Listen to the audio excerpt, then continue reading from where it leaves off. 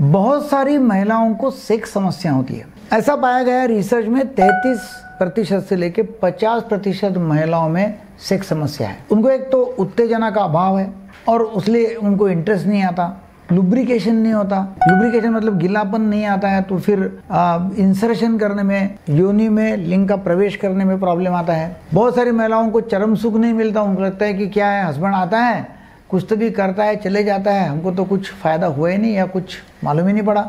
दर्द होता है लुब्रिकेशन नहीं है तो। और वैसे ही यदि कुछ बीमारियाँ हैं तो उनको इंटरेस्ट नहीं होता बीमारियाँ कौन सी है? कि समझो डायबिटीज़ है हार्ट का प्रॉब्लम है किडनी का प्रॉब्लम है लीवर का प्रॉब्लम है हार्मोनल असंतुलन है। एमसी चल रही है मतलब मेंस्ट्रुएशन चल रहा है या मेंस्ट्रुएशन खत्म हो गया है मतलब मेनोपाज आया हुआ है। थकान है, दिन भर काम कर रहे हैं, बहुत थकान है, नींद आ रही है। तो ऐसे इसमें उसको कोई इंटरेस्ट ही नहीं है सेक्स और फिर यदि औरत को इंटरेस्ट नहीं है और हस्बैंड को तो इंटरेस्ट है फिर झगड़े होते हैं कि भाई, क्या हमारे औरत को इंटरेस्ट ही नहीं है? और फिर झगड़े होते रहते हैं, उसको लगता है कि मज़ा ही नहीं आती है। अब जब ऑर्गेजम ही नहीं होता मतलब उत्तेजना का अभाव है और चरम सुख नहीं मिलता तो उसको क्यों मज़ा आए? अब इसमें हस्बैंड का ये रोल है कि उसने फोर प्ले करना ज़रूरी है।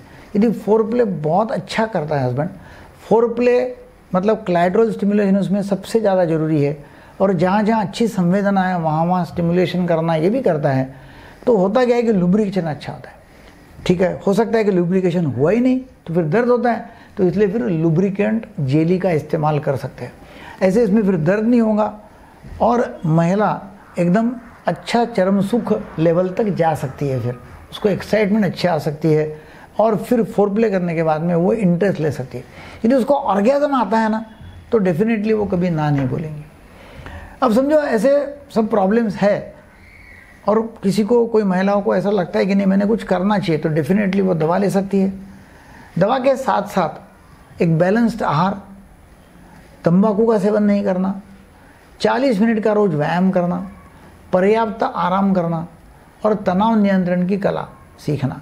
ये करते हैं तो डेफिनेटली सेक्स में इंटरेस्ट आएगा पति पत्नी के झगड़े नहीं होंगे और एक अच्छा सहजीवन जी सकेंगे। यौन समस्याएँ डेफिनेटली ठीक हो सकती है। औरतों को बहुत होती है, मगर वो कभी आती नहीं क्योंकि शर्मा शर्मी में डॉक्टर को वो कंसल्ट नहीं करते। औरत को इंटरेस्ट नहीं है तो फिर धीरे धीरे हस्बैंड का भी इंटरेस्ट निकल जाता है और फिर उसको प्रॉब्लम्स आते हैं इरेक्शन जैसे, या फिर प्री मैचर इजैकुलेशन जैसे। डेफिनेटली वीडियो आप लोगों को शेयर करेंगे तो पति पत्नी का जीवन एक बहुत अच्छा जी सकेंगे, मज़ा आएगा, सुख समाधान का होगा। Thank you for sharing like करो सब्सक्राइब करो थैंक यू वेरी मच